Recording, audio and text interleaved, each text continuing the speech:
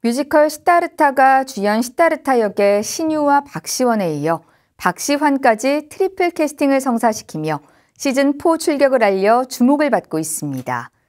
태고종 전국비구니회는 제작진과 업무 협약을 맺고 불교 문화예술의 도약과 세계 진출의 교두보가 되길 기원했습니다. 하경목 기자입니다.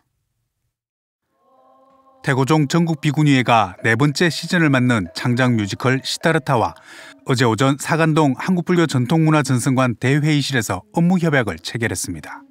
전국 비구니회는 이날 업무 협약으로 3월 19일 2회 공연 2280석 정관을 대관해 제작진을 격려하고 문화 포교의 중요성도 다시금 일깨우길 기대했습니다. 태고종 전국 비구니회는 대중문화의 중심에서 불교문화 예술의 발전을 이끌고 우수한 불교문화 콘텐츠로 세계 진출의 교두보가 되길 기원했습니다. 특히 코로나19로 지친 불자와 국민들의 마음에 위로의 울림이 전해져 문화 포교의 작은 씨앗이 되길 염원했습니다.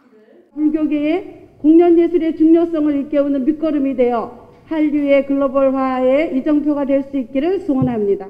뮤지컬 시타르타 제작진은 네 번째 시즌 흥행 돌풍에 이어 세계 진출의 발판 마련에 힘을 보태준 태고종 전국 비구니회에 감사를 전했습니다.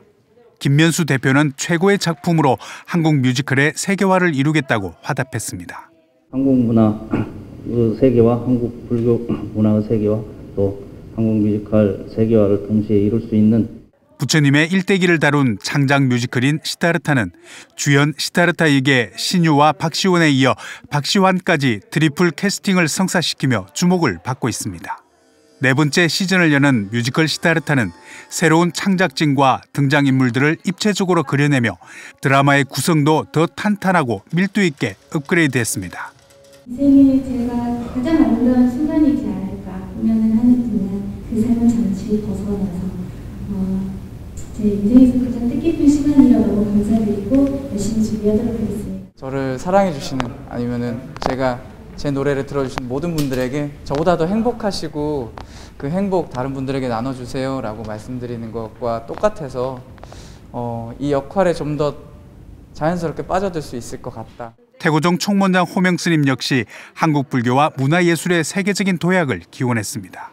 세계적으로 알림이 돼서 어, 많은 이렇게 홍보가 됐으면 좋겠습니다. 새롭게 추가된 곡들로 화려하게 귀환한 뮤지컬 시타르타는 오는 3월 8일 올림픽공원 우리금융 아트홀에서 첫 공연을 시작으로 4월 3일까지 강렬하면서도 아름다운 무대를 펼칠 예정입니다.